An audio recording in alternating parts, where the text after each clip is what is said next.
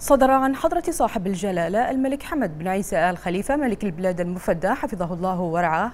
أمر ملكي رقم 19 لسنة 2021 بتعيين مستشار لصاحب السمو الملكي ولي العهد جاء فيه. المادة الأولى يعين الشيخ خليفة بن دعي بن خليفة آل خليفة مستشارا لصاحب السمو الملكي ولي العهد.